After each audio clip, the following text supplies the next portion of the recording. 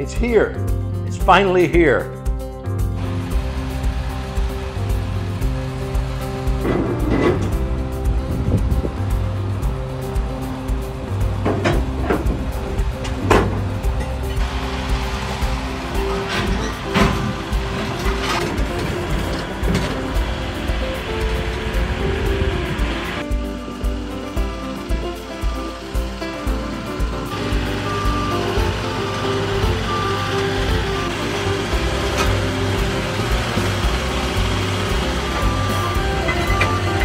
I know it sounds a little weird getting excited about some wood.